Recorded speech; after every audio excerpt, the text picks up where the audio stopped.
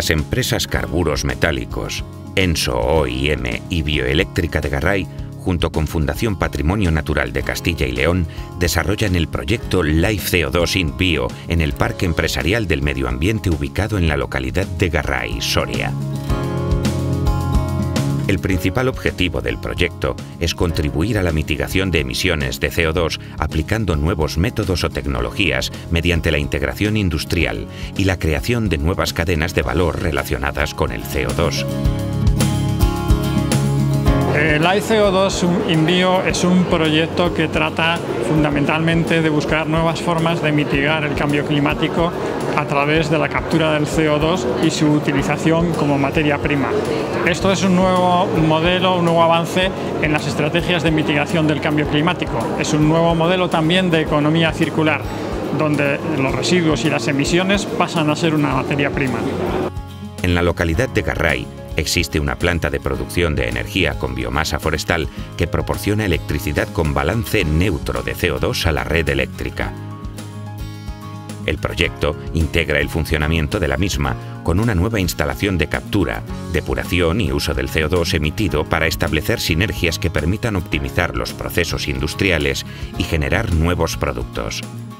Se trata de un proyecto de captura de CO2 procedente de la combustión de biomasa en una central de generación de energía eléctrica alimentada por residuos forestales y otro tipo de residuos lignocelulósicos.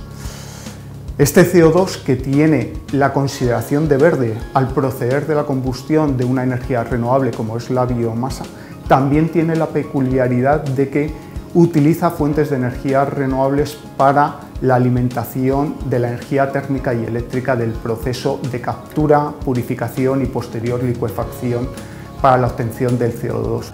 A nivel de innovación también podemos resaltar el hecho de que esta es la primera planta que utiliza biomasa certificada 100% bajo el esquema voluntario SURE, uno de los pocos esquemas voluntarios que ha sido aprobado por la Unión Europea bajo el marco de la Directiva 2018-2001, conocida como 2.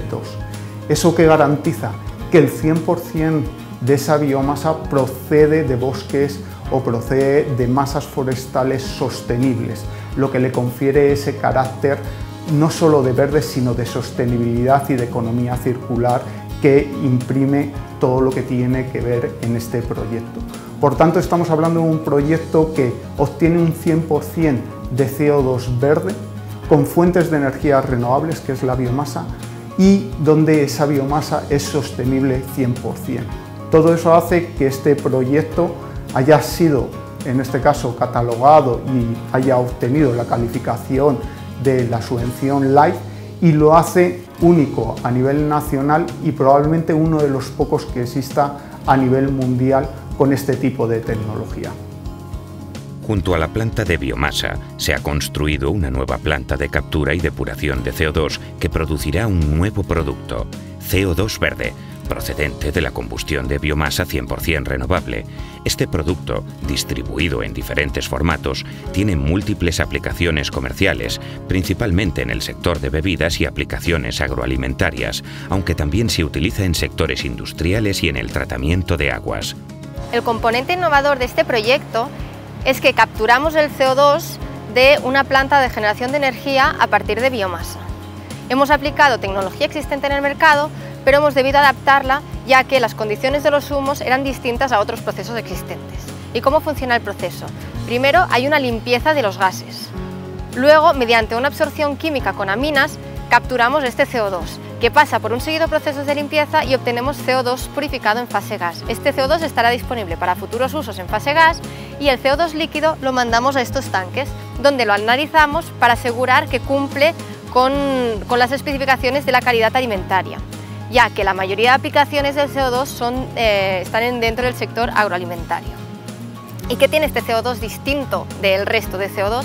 Es que es un CO2 renovable.